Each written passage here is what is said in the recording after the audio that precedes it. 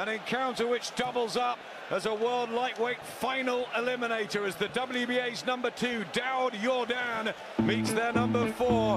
Iya, Mitra Jibarena, laga yang begitu menyita perhatian publik di mana ketika petinju Indonesia asal Sukadana Kalimantan Barat berduel menghadapi Anthony Krolla, petinju asal Inggris dalam pertarungannya yang bertajuk Eliminator WBA Super World Lightweight Championship pada 10 November 2018 yang lalu.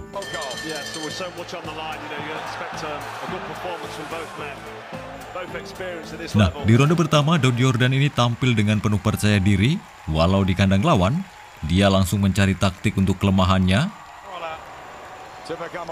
Sembari penjajakan, Krolla juga ini yang sebagai petinju tuan rumah tampil sangat taktis.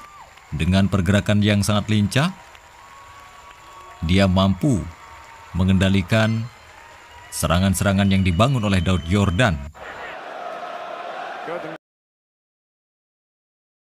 Walking down Crawler, but not a lot of activity thus far. It's been is very, very tough. Only been stopped once late, late on. And he's, he's boxed at a decent level. He, he, he landed a nice counter left hook as Crawler opened up, so he'll be weary of that now. I mean, Crawler, for most of the round, outworking him, but on the end of a good rival,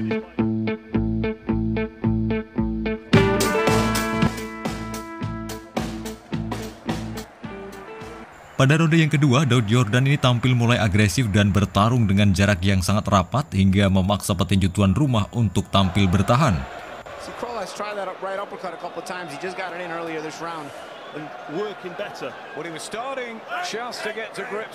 Kemudian pertarungan berlangsung sangat ketat, terlihat Krolla petinju dari Inggris juga makin sulit dalam menembus double cover Daud Jordan. Hingga kedua petinju ini tentunya harus saling berjual beli pukul di akhir ronde yang kedua. 13 KOs on the crawler slate. We saw in the statistics earlier that Jordan is a bigger puncher, heavier artillery. Crawler normally has both are. So not to 18 months for a world title. And uh, the winner of this, well, should get Vasil Lomachenko. Still will be happy to stay with, but I think the extra work of Jordan One apiece, Paulie. It was closer. But Leave it.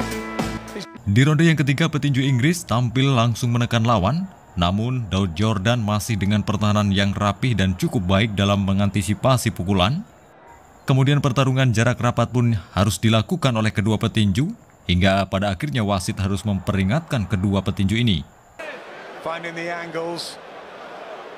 Just might be a bit more versatile than Jordan, who You can't buy that and you can't get that in sparring. And we, we, I think we'll just start to see that as this fight evolves.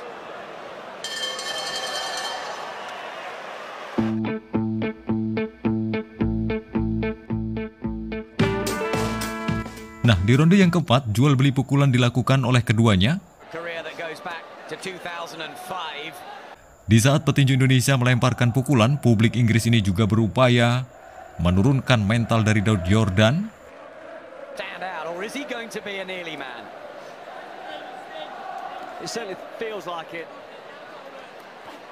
But um, Anthony Cruller can exploit that. I mean, he's pushing him back on the ropes nicely here, Cruller. And Jordan sitting there taking far too many, looking for the counter.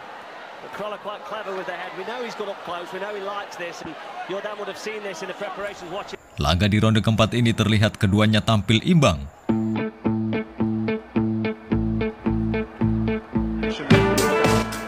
Nah, di ronde yang kelima, petinju tuan rumah melancarkan pukulan demi pukulan yang cukup bertenaga. Namun Daud Jordan masih mampu menahannya, sehingga pertarungan semakin seru hingga terdengarnya bunyi bel akhir ronde kelima. Di ronde yang keenam kali ini Daud Jordan petinju Indonesia yang berjuluk Cino tersebut melakukan pukulan secara sporadis ke arah Krolla hingga membuat petinju tuan rumah ini semakin kewalahan. Namun Krolla terus berusaha dengan melakukan rangkulan untuk membendung gempuran dari Daud Jordan. So that Jordan can't answer, and he he clearly wins the exchange, and the judges see that. While Jordan sort of.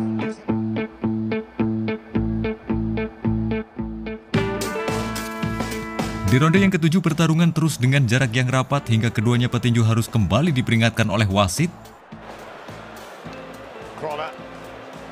just with that added work rate, but Jordan blocking pretty much everything there. Mike Alexander saying watch the head.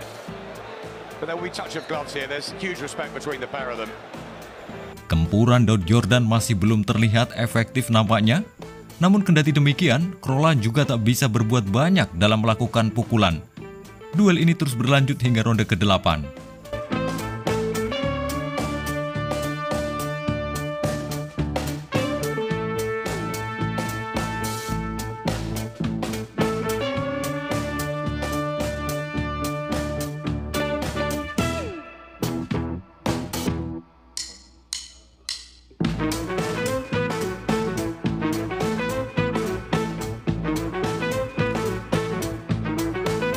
Nah, di ronde ke-8 dan 9 ini Daud Jordan terus menjadi agresor dengan melakukan tekanan sembari melayangkan kombinasi pukulan, sementara Krola petinju dari Inggris lebih banyak melakukan cleans. Daud Jordan terus berupaya untuk memberikan manuver hingga terlihat Krola ini semakin dibuatnya kerepotan.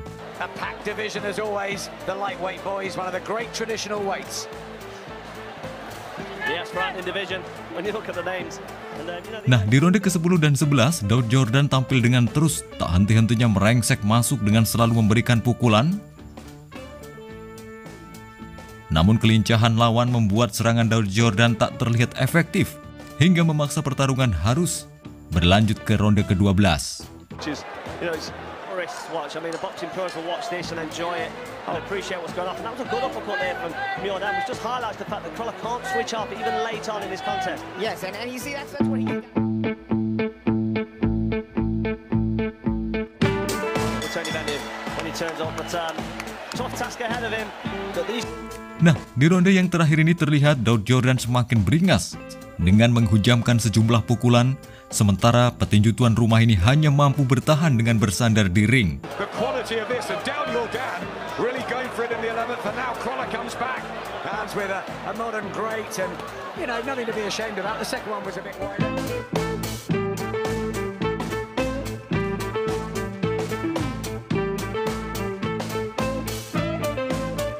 Stamina petinju Inggris ini terlihat makin menurun, membuat Daud Jordan berupaya untuk menghujamkan pukulannya di menit-menit akhir ronde pamungkas. Praktis, di ronde ke-12 ini Daud Jordan mampu mendominasi jalannya laga. like Cruller looks more tired than Jordan at this Yep. stage of the fight. Yeah, hanging on. Anthony Crawler wants that final bell, gets it. He'll believe he's done enough. Namun demikian, petinju Indonesia Daud Jordan ini dinyatakan kalah angka. Petinju tuan rumah ini menang secara mutlak dengan ketiga juri memberikan skor 116-112.